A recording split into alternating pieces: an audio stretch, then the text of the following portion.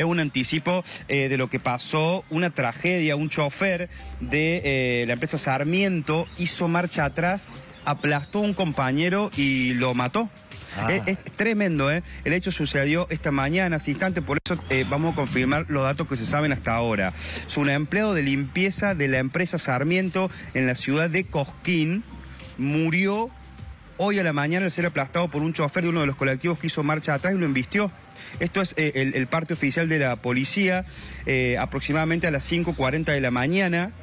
Eh, lamentablemente una tragedia, se, se bajó de inmediato, el chofer quiso ver qué pasó y había hecho marcha atrás y, y- aplastado este- a este compañero de 27 años. ¿eh? Realizaba tareas de mantenimiento, de mantenimiento y de, y de- limpieza y, y termina muriendo. Bueno, es una de las tristes noticias, eh, también como parte de lo que va pasando en este viernes. ¿eh?